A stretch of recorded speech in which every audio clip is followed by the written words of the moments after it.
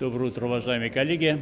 Очередная пленарная неделя в стенах Государственной Думы. Работать будет на пленарном заседании Госдумы два дня, сегодня и завтра в среду. Ну и, как всегда, повестка дня очень насыщенная. На что бы я хотел обратить ваше внимание. Сегодня в первом чтении э, мы будем рассматривать э, законодательную инициативу э, депутатов всех фракций. Речь идет о внесении изменений в отдельные законодательные акты, касающиеся мер, дополнительных мер по обеспечению национальной безопасности Российской Федерации. Но вы, уважаемые журналисты, этот закон называете закон об иноагентах. Э, и действительно, есть один нюанс, лакуна законодательная, щель, если хотите. Вот в эту щель некоторые, которые почему-то боятся, чтобы их назвали своими именами, иноагентами, вот в эту законодательную щель они сейчас и прячутся. О чем идет речь? Мы приняли в свое время законопроект, который обязывает зарегистрированные общественные организации, которые получают финансирование за рубежа, э, соответственно, они называются иноагентами, и они обязаны везде фиксировать, что у них есть такое а, название. А, но есть организации, которые не проходят регистрацию. И в то же время а, мы знаем, что они получают финансирование из-за рубежа, работают на территории нашей страны, в том числе через средства массовой информации.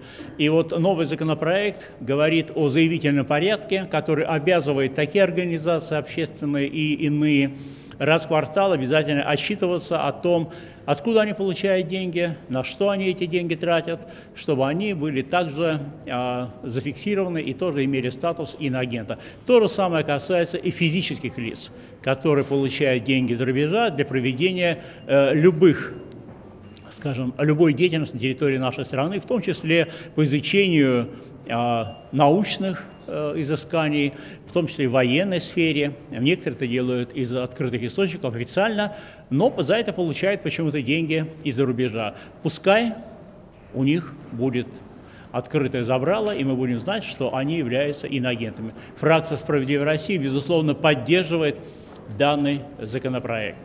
А, следующий законопроект, который внесен правительством и также будет рассматриваться в первом чтении, о внесении изменений в закон о полиции – вот здесь уже ситуация сложнее. С одной стороны, вносятся абсолютно здравые и выверенные жизнью, а, к сожалению, не только жизнью, но иногда и смертью, гибелью сотрудников правоохранительных органов правила, а, которые, безусловно, должны быть поддержаны. Ну, например, сегодня по закону сотрудник полиции видит правонарушение, преступление, э, на его глазах убивает человека.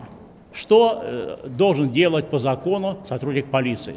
Подойти к человеку, который нарушает закон, который, например, хочет убить другого человека, представиться, сказать, здравия желаю, я э, младший лейтенант Петров из такого-то отделения милиции. Ну, понятно, за это время, сказать, э, тот спокойно убьет э, или сделает то или иное правонарушение.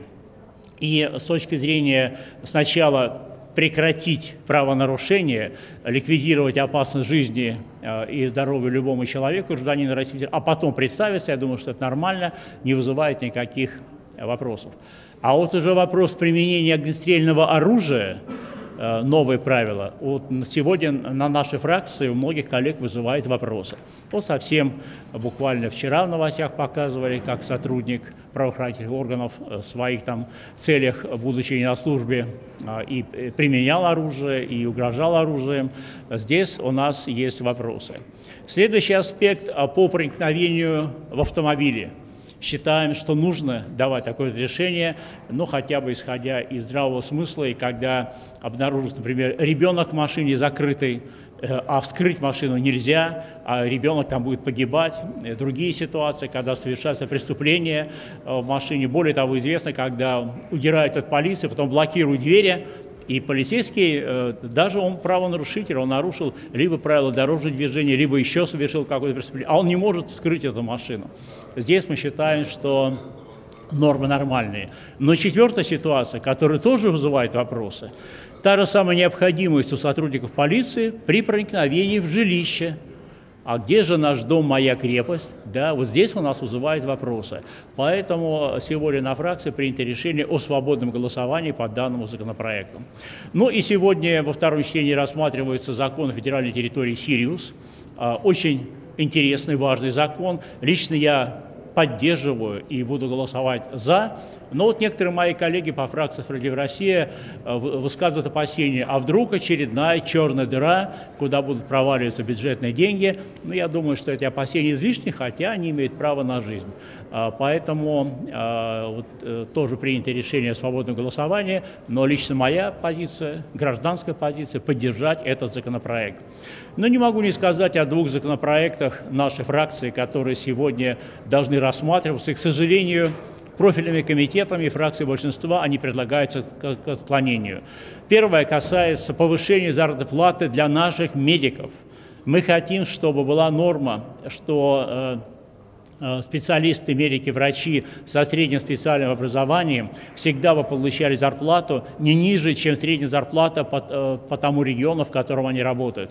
А для тех же врачей, имеющих высшее образование, чтобы их зарплата была на 200% больше, чем средняя зарплата э, в этом регионе. Считаем абсолютно справедливым и нужным, и у нас вызывает недоумение, почему профильный комитет не хочет поддержать нашу инициативу. Но и многострадальная инициатива очередная и мы не успокоимся, сегодня ее отклонят, а мы снова будем вносить. Это, конечно, вопрос о индексации пенсий для работающих пенсионеров.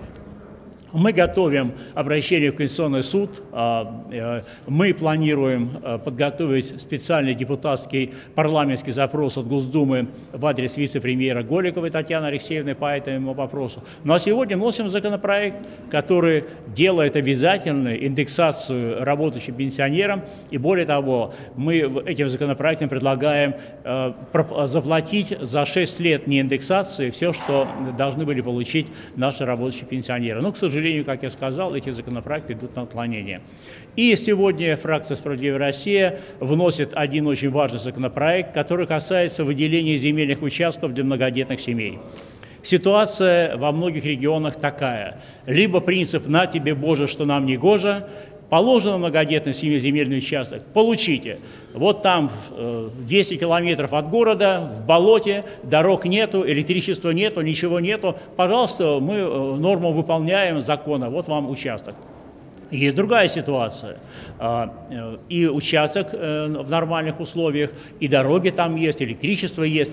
Но многодетной семьи ни, ни копейки, ни денег, чтобы на этом участке что-то построить да, и они не могут ничего э, воспользоваться. И в этой связи предложение наше следующее. Э, чтобы семья многодетная выбирала либо земельный участок, либо денежная компенсация в размере кадастровой стоимости такого земельного участка. Потому что многим сейчас просто эти деньги очень бы даже помогли. И э, еще одна тема, о которой не могу не сказать, и я подготовил э, свой депутатский запрос в адрес председателя правительства. Речь идет о последствиях той самой злосчастной оптимизации здравоохранения когда младший медицинский персонал, нянечек э, и младших сестер перевели э, из штата медицинских работников в простые уборщики, уборщицы и так далее.